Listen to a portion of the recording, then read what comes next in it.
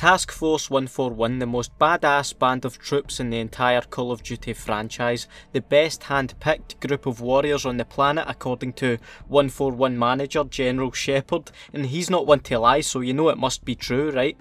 Uh, we've discussed at length the individual stories of 141 members Captain Price and Soap MacTavish many a time and will continue to do so but in this video I wanted to take a look at the 141 as a whole and that's what we're going to do but also keep an eye out for a very special announcement during the video. Did you know Task Force 141 had at least 85 absolute demons in it that hail from the UK, the US, Canada and Australia? That's a lot more than the four soldiers that we fell in love with, Soap, Price, Ghost and Roach. Of course, there was also Joseph Allen who impressed General Shepherd so much in the pit that he was drafted into an undercover mission to infiltrate the Russian ultranationalist cell yeah, we all know how that went. But there were loads of 141 members with well cool names like Driver, Rocket, Toad, and Worm, who's actually the guy who asks. Okay, maybe their names could use some work, but it's not as if Soap was cool in the beginning as well. Ghost is definitely one of the better names and it's claimed by 141 member Simon Riley, who not only had to do various dangerous activities in his day-to-day -day life, but also voiced the lines that you hear when you're in Team 141 in multiplayer. Enemy AC-130, above! He's also sporting a balaclava with a skull on it just in case you don't think he was intimidating enough while he's about to dish out some war crimes on your arse, which is actually what he's up to when we first get acquainted with Ghost. Either that or this guy's got a car battery where his boss should be and he's needing a jump start. Come on, got their up their arse. We're on our own. Hmm. That's maybe why Shepherd did what he did, because Ghost was so cheeky to him. Oh sorry, spoiler alert. Of course we know what other prominent Task Force 141 operative bit the dust that fateful day, Gary Sanderson. Who? Roach! Gary Roach Sanderson. He wasn't born Roach, but if he was born an actual Roach, he might have survived being set on Oh, I'm getting ahead of myself again. Roach is indeed the main playable character in Modern Warfare 2. His actions, his life is our life. Wait, does that mean that we are all Roach? If I fall off the cliff first thing in Modern Warfare 2, is that Roach's story over?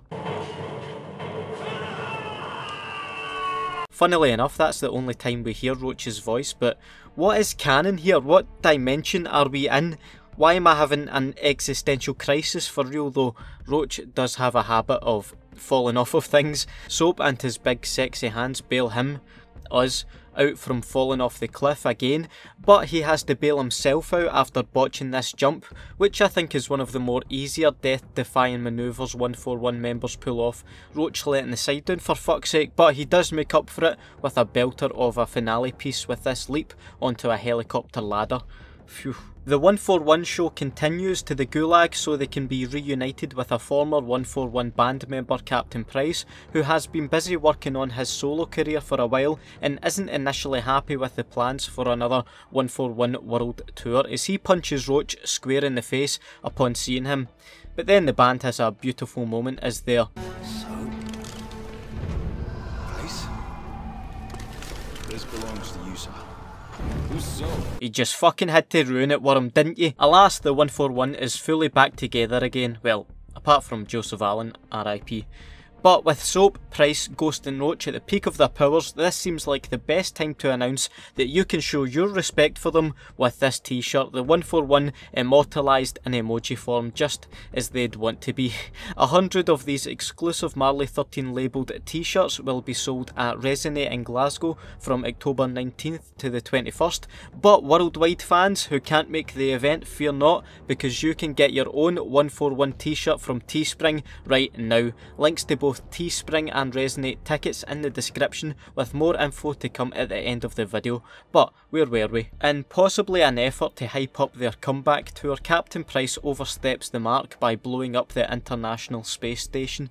I may have mentioned that in the past as you can imagine this seriously pissed off band member Shepherd. And in case you're wondering, yes I am going to talk as if Task Force 141 are a boy band for the rest of the video. Captain Price, Request permission to take the safe house with Roach. They were actually so popular they went on different tours and brought along a shit ton of supporting members with them. We have not, I repeat, we have not spotted Makarov, and no one else has left the house. Those trucks may have been decoys. Over. Who the fuck's Archer, by the way, and what is he contributing to the band? Is he playing the fucking triangle or something? I've not heard of him. They also recorded a new single which was actually straight fire. Okay, poor joke, let me try that again. They also recorded a new experimental album which was actually so shite that Shepherd, the band manager, had to terminate Ghost and Roach and make sure that album is never released to the general public. A lot of people don't know that's why Shepherd acted this way, but it must have been really bad to drive him to do that. Meanwhile, Soap and Price are just getting the news that the album did actually leak, and the public hate it so much that Task Force 141 is disavowed, and basically everyone is out to kill them. We know how this story goes though. Soap and Price sue Shepherd for breach of contract, talks break down, and eventually Soap has to stick a knife in Shepherd's eye. It's a shame it got to that stage. Also, shout out to the band's tour helicopter pilot Nikolai, who's always helping out by the way. Fast forward a bit, and with a new band member Yuri, Task Force 141 is trying once again to do a comeback tour but they're hit with a bit of a snag when lead guitarist and heartthrob Soap MacTavish dies during a pyrotechnic stunt gone wrong. It doesn't stop fellow Scotsman and new band manager Baseplate MacMillan from pursuing the world tour and saving the band's PR, and they actually do get themselves back on side with the public, and all it took was for them to rescue the Russian president and his daughter from a diamond mine. With their sights firmly set on securing the number one spot in the charts, 141 take on rival band Makarov and the ultranationalists.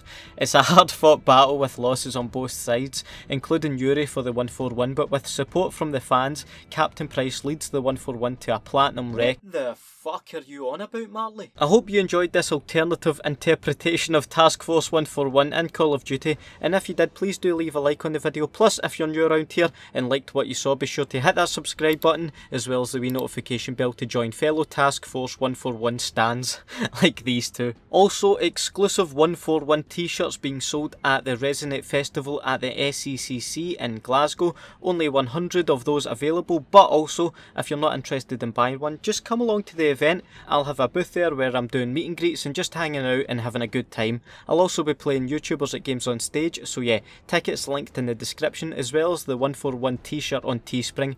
Don't worry about the timer thing on Teespring by the way, it just means after 3 days the current orders are shipped and another 3 day cycle begins and I can't wait to see you rocking them. Have a nice day and I'll see you in the next video. Bye.